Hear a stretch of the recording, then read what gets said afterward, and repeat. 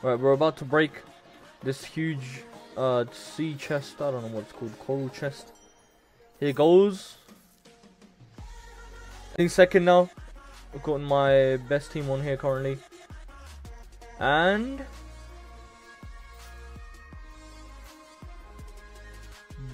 boom. There it goes.